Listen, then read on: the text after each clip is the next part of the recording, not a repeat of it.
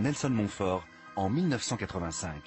L'observation était, était la suivante. J'ai vu un, objet lumineux, je dirais rectangulaire, très très lumineux, mais très très lumineux, qui se déplaçait doucement au-dessus de la crête euh, des, euh, des sommets alpins, puisque c'était du côté de la station des Arcs en Savoie.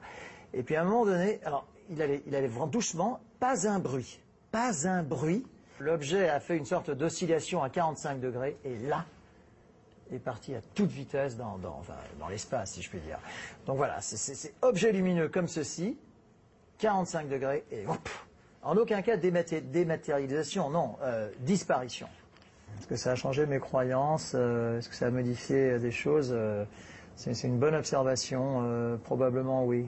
Probablement oui. Euh, je, pense euh, effectivement aujourd'hui profondément que, nous ne sommes pas les seuls dans l'univers. Je, pense aussi compte tenu des, distances et du système solaire et des galaxies, etc., qui, sont autour de nous, qu'il y a probablement des intelligences supérieure, même bien supérieure à la nôtre. Pour répondre directement à cette question, je, je pense que ça peut, ça peut donner peut-être une certaine humilité à nous autres pauvres terriens, et ça, ça au fond, c'est une assez jolie leçon.